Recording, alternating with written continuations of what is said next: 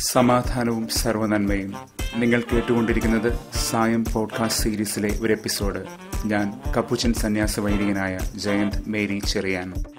വേടന്റെ കെണിയിൽ നിന്ന് തന്റെ വിശ്വസ്തനെ സംരക്ഷിക്കുന്ന ദൈവത്തെ സങ്കീർത്തനം തൊണ്ണൂറ്റൊന്ന് ഇന്നലെ നമ്മൾ കാണുകയായിരുന്നു.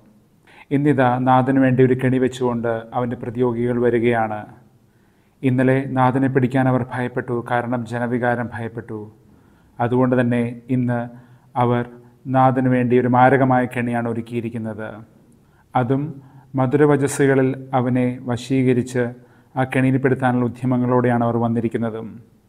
നീ മനുഷ്യരുടെ മുഖം നോക്കാതെ പ്രവർത്തിക്കുന്നവനാണല്ലോ ഗുരു എന്ന് പറഞ്ഞുകൊണ്ട് പ്രോസോപോൺ ആന്ത്രപ്പോ മനുഷ്യന്റെ മുഖം.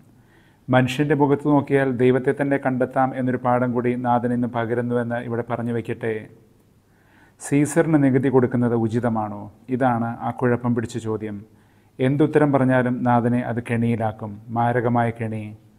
അതുകൊണ്ട് തന്നെ നാഥൻ അത് ഒരുവന്റെ മനസാക്ഷിയുടെ പ്രശ്നമായിട്ട് ഉയർത്തുകയാണ്. സീസറിനുള്ളത് എന്തെന്നും ദൈവത്തിനുള്ളത് എന്തെന്നും തിരിച്ചറിഞ്ഞു വേണം പ്രവർത്തിക്കാൻ അത് അർഹതപ്പെട്ടവർക്ക് കൊടുക്കാൻ. ഒരു സീസറിന്റെ കയ്യിൽ വധിക്കപ്പെട്ട വിശുദ്ധ ജസ്റ്റിൻ നാം കഴിഞ്ഞ ദിവസം കണ്ടതാണല്ലോ ആ വിശുദ്ധനെ.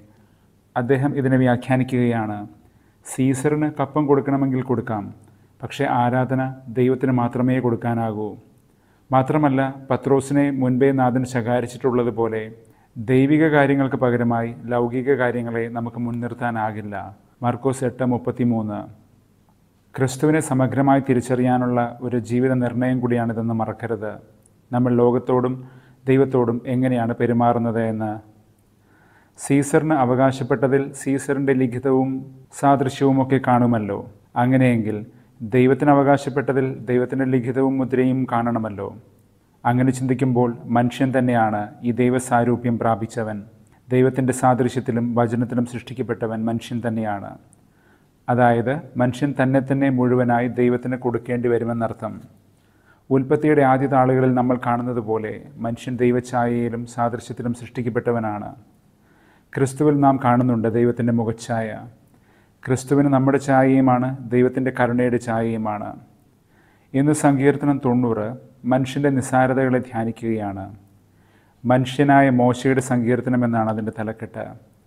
ഇത്ര പെരുമയുള്ള മോശ പോലും കേവലം മർത്യനാണ് എന്നൊരു ഓർമ്മ മൃതിയുടെ പിടിയിലമർന്നവൻ പക്ഷേ അവൻ ദൈവത്തിന്റെ മുഖം കണ്ട ഒരു ദൈവിക മനുഷ്യനാണ്.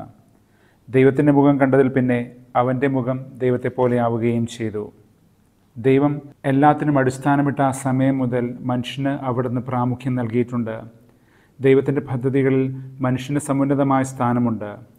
ദൈവത്തിന്റെ സ്നേഹകാരുണ്യത്തിന്റെ വ്യവസ്ഥയിൽ ഹൃദയസ്ഥാനമാണ് മനുഷ്യന് കൽപ്പിക്കപ്പെട്ടിരിക്കുന്നത്. സങ്കീർത്തനം ഇത് തന്നെയാണ് ധ്യാനിക്കുന്നത്.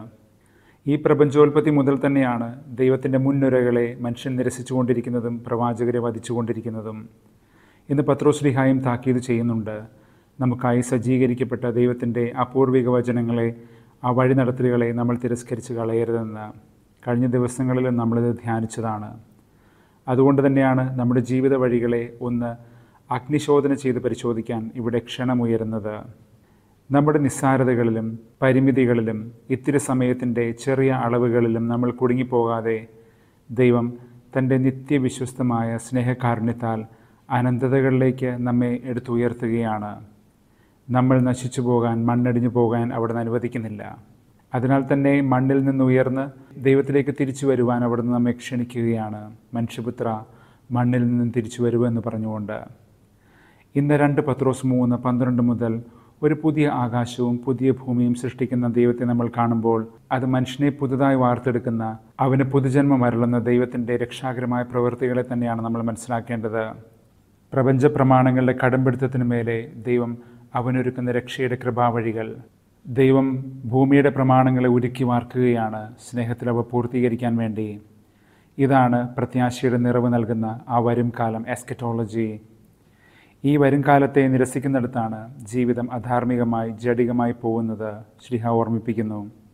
അതുകൊണ്ട് തന്നെ കാലത്തിന്റെ തികവിൽ നമ്മൾ ക്രിസ്തുവിന്റെ പരിപൂർണതകളെ കാത്തു നിൽക്കുന്നുവെങ്കിൽ ജീവിതത്തെ നിർമ്മലമായി ഒരുക്കിക്കൊള്ളുവാനായിട്ട് ശ്രീഹ ഓർമ്മിപ്പിക്കുകയാണ്.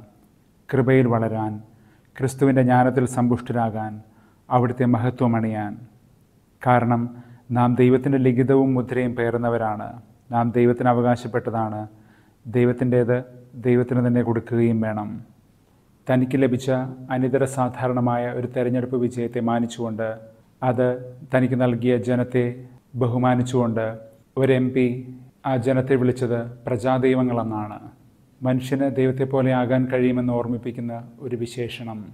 പ്രജാദൈവങ്ങൾ.